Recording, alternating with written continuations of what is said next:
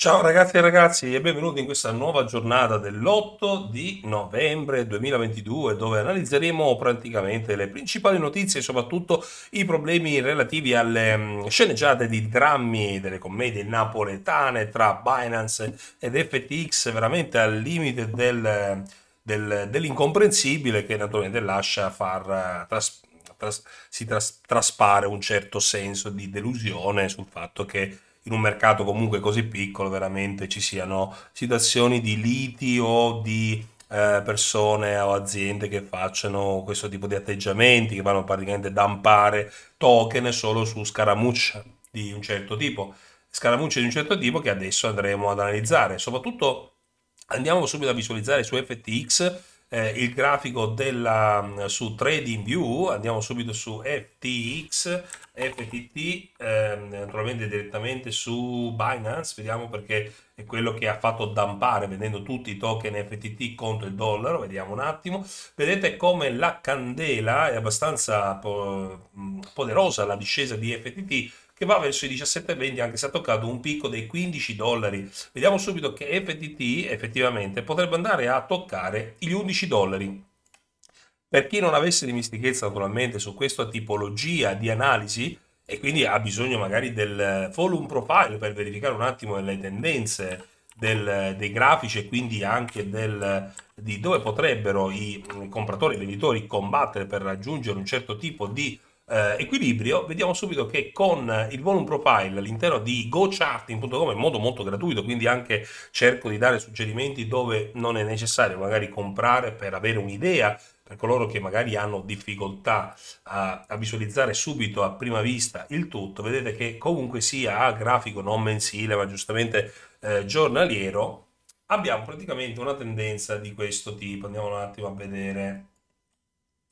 praticamente il, eh, i volumi che sono presenti sono intorno ai 10 dollari.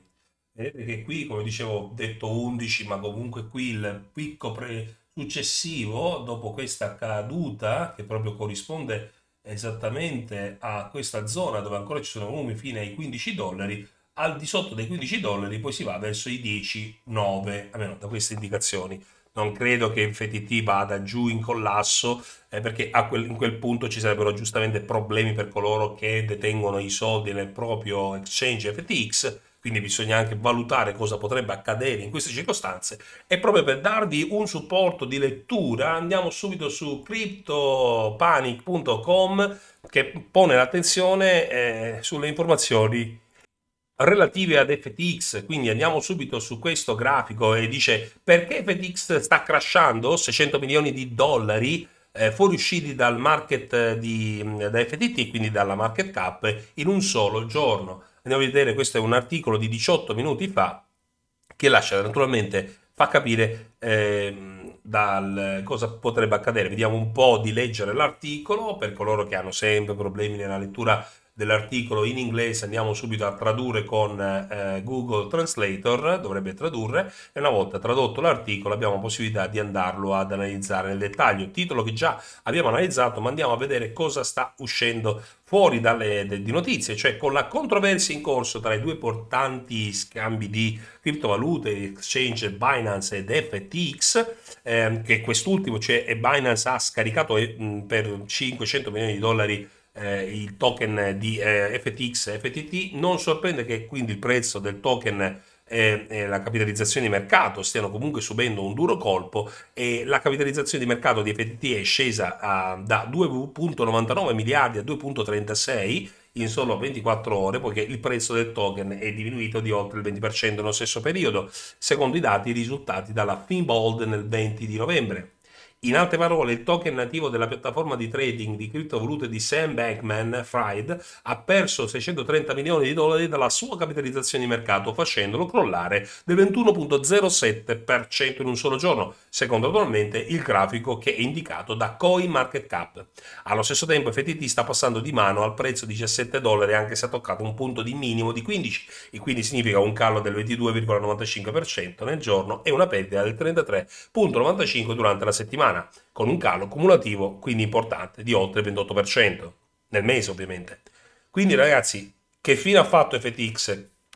In precedenza è emerso che l'impero commerciale di Bankman Fried comprendeva due grandi entità, lo scambio di valuta con l'exchange FTX e la sua società di trading Alameda Research, il cui collegamento è stato confermato nei dati finanziari di Alameda Research, che aveva un consistente eh, patrimonio in token FTT. In risposta a tale rivelazione, il 6 novembre il CEO di Binance, Champeng Zhao, ha annunciato la decisione della società di liquidare qualunque FTT rimanente nei suoi eh, libri contabili con la quale ha proceduto in seguito vendendo 22 milioni eh, rotti, quasi 23 milioni di FTT per un valore di 584 milioni di dollari. Nel frattempo eh, il CEO di FTX è andato su Twitter il 7 di novembre affermando che un concorrente sta cercando di inseguirci per false voci, aggiungendo che FTX fa bene e i, bene, e i beni vanno bene. Cioè, veramente non ha problemi di alcun tipo. Binance non c'è guerra, comunica che non vuole fare la guerra con FTX, eccetera, eccetera. Vedremo come andrà avanti. Il discorso è questo, se dovessero ulteriormente eh, andare giù eh, eh, gli FTT eh, token, anche magari con un discorso di leva oltre certe misure, il, il, il token potrebbe dampare ulteriormente, potrebbe creare dei problemi FTX, anche se dai Twitter di eh, FTX sappiamo che eh, il, il, CEO di eh, FTX ha dichiarato che non ci sono assolutamente problemi eh, di alcun tipo. Eh, infatti dice qua SBF, quindi eh, il CEO Bankman Fried di FTX, a competitor is trying to go after us with false rumors. FTX is fine. Asset are fine. Quello che dicevano, naturalmente, già tradotto in italiano precedentemente. È un tweet eh, che dice praticamente che un competitor sta tentando di far collassare praticamente con dei rumors falsi ehm, FTX, in realtà FTX sta bene, gli asset stanno bene, quindi tutto quello che c'è all'interno non ha problemi di alcun tipo, almeno così ci viene detto eh, dal punto di vista del, ehm, del, del, sistema. Poi altre notizie, naturalmente anche un po' precedenti, sono comunque presenti, addirittura anche di eh, un trilione di, ehm, di, Shiba sono stati mossi da FTX,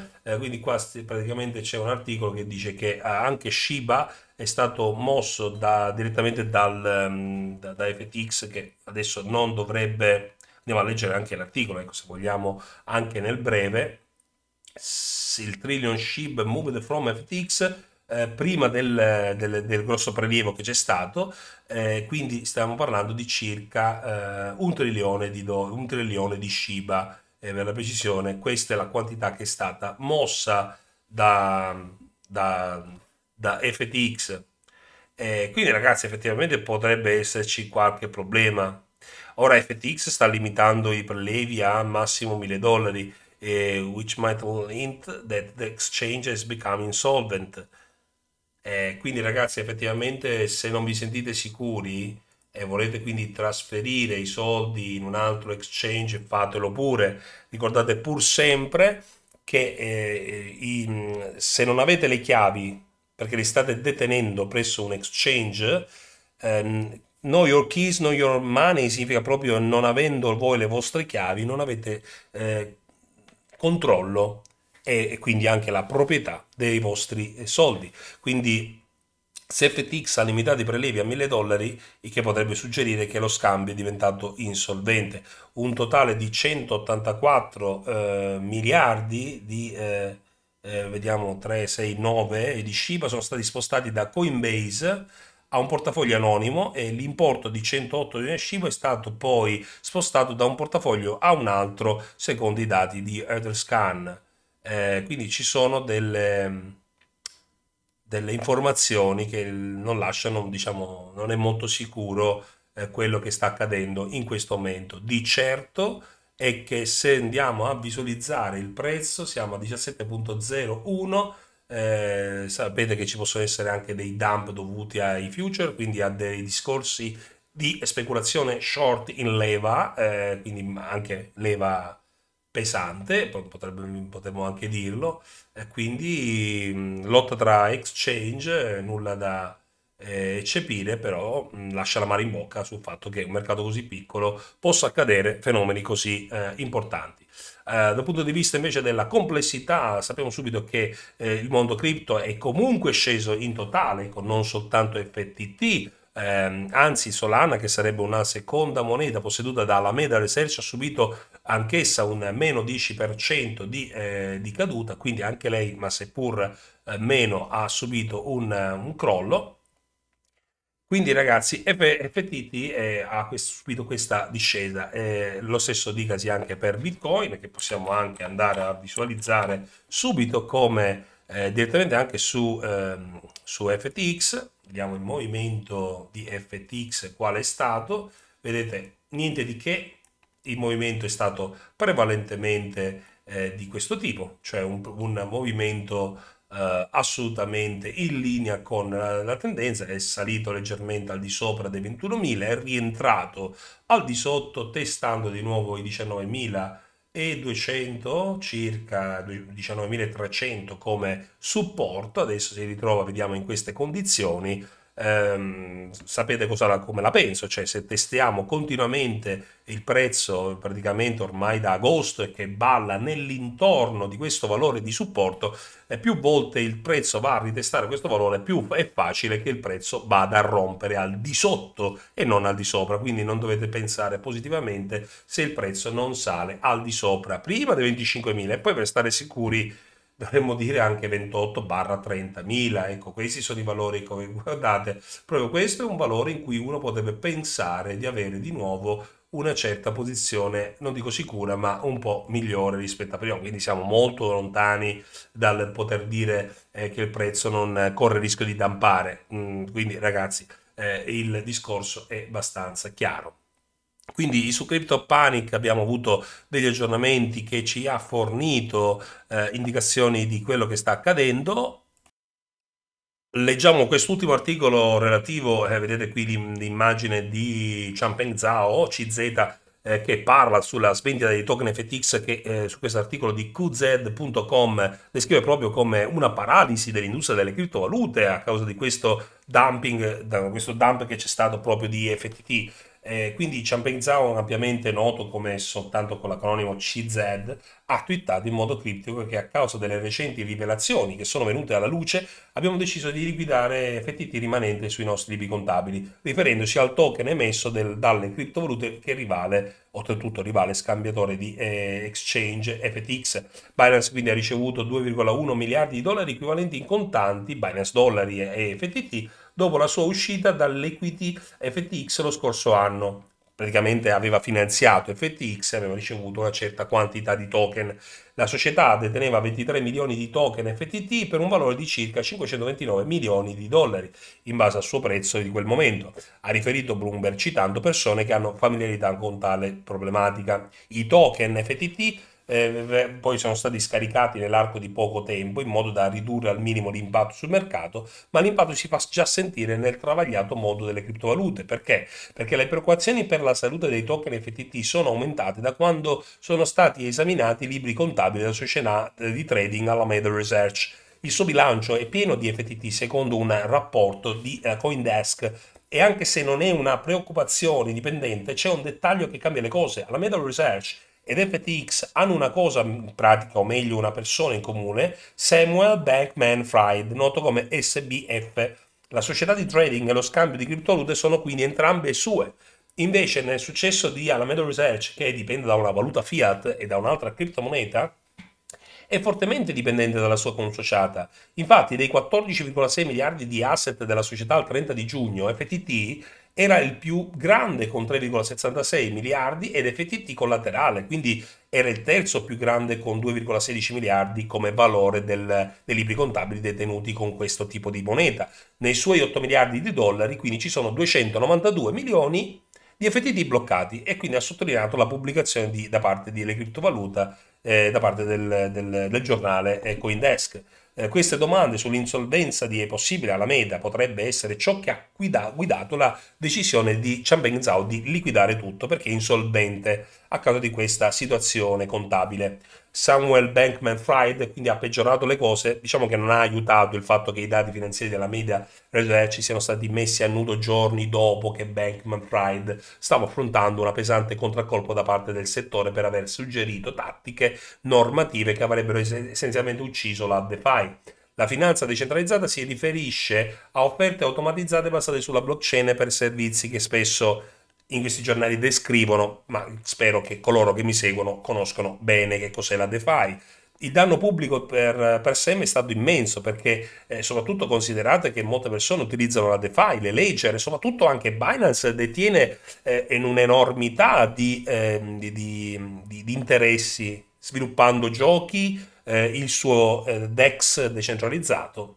Quindi probabilmente c'è stata una lotta tra chi eh, ha anche interessi nel mondo DeFi e chi FTX, sapete, non ha interessi nel mondo DeFi o minimi. Quindi SBF ha reagito alle preoccupazioni del concorrente in un tweet affermando che FTX eh, va bene e i loro beni stanno bene. In un altro post ha aggiunto che FTX ha abbastanza tutto per coprire le partecipazioni dei clienti e quindi non, non, ci sono problemi in questo momento. E, e quindi c'è una sorta di guerra tra Binance e FTX che è negativa naturalmente per l'industria. L'ho detto naturalmente prima, lo ripetono e lo scrivono anche come ben vedete eh, i giornali, perché non è positiva una situazione del genere, sembra proprio di vedere eh, combattere bambini di 5 anni, e questo è mio e questo è tuo, questo non mi piace e se non piace a te allora ti faccio, ti faccio del male. ragazzi, eh, purtroppo la situazione sicuramente non è delle migliori. Ehm, quindi naturalmente questo è il valore del sell-off di Binance che è importante.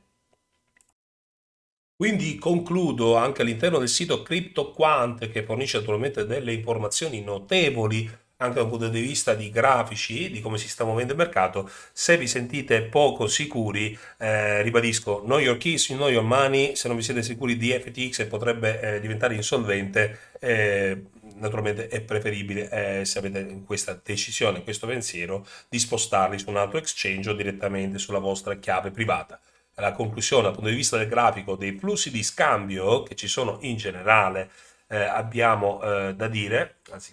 fatemi chiudere un attimo l'italiano perché non lo comprendo, exchange flusso, ecco direttamente, exchange riserva, vediamo un attimo il flusso di eh, l'exchange delle transazioni, prelievo, perfetto, sto guardando e visualizzando il prelievo di tutti gli exchange eh, di Bitcoin in questa eh, circostanza. A noi non interessano il Bitcoin, tendono tutte le stable coin perché di solito si esce fuori dalle cripto e si va verso le stable coin. Vediamo la piattaforma FTT